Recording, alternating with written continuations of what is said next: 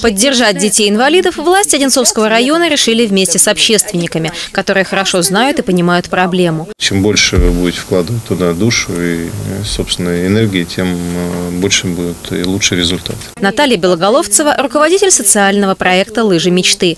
Это программа эффективной реабилитации детей с ДЦП, аутизмом, синдромом Дауна с помощью занятий горными лыжами. Наталья вместе со своим мужем, известным артистом и шоуменом Сергеем Белоголовцевым, более 25 лет занимается занимается проблемами здоровья младшего сына. У него ДЦП. Родители перепробовали множество методик и признаются, что эффективных путей реабилитации очень мало.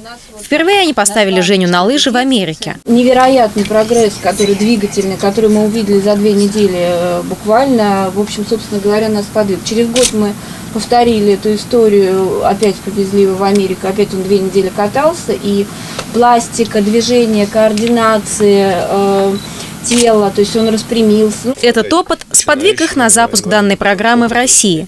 Были обучены специалисты, закуплено специальное оборудование. География программы широкая, от Москвы до Сахалина. Как минимум региональным подмосковным центром программы а, будет город Одинцово в парке Ларисы Лазутиной.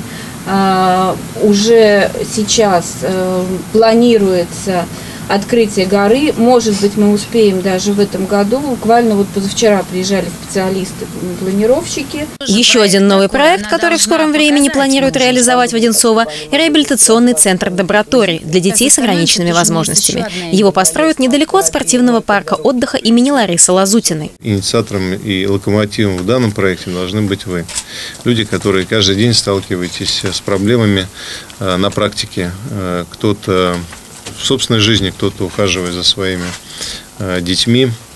И то, как компоновать помещения, какие, какого они должны быть размера, э, какой направленности, как раз должны сказать вы, чтобы не было здесь э, никакой ошибки, не было ненужных помещений. Руководит проектом Елизавета Молчанова. В центре, который построит финский архитектор, появится несколько бассейнов, столовая, спортивные залы, театр, игровая зона, место отдыха для родителей, кабинеты для специалистов. Плюс у нас будет небольшой зал где могут проводиться какие-то мастер-классы, бокс, танцы, все что угодно, тоже что-то такое. Небольшой зал мы хотим сделать для аутистов, то есть если приходит семья аутистов, у нас есть тоже очень хороший специалист.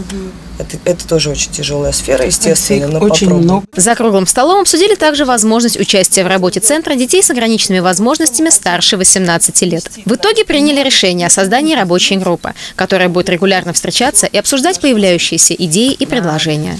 Анна Макарова, Леонид Бурдин, телекомпания «Одинцова».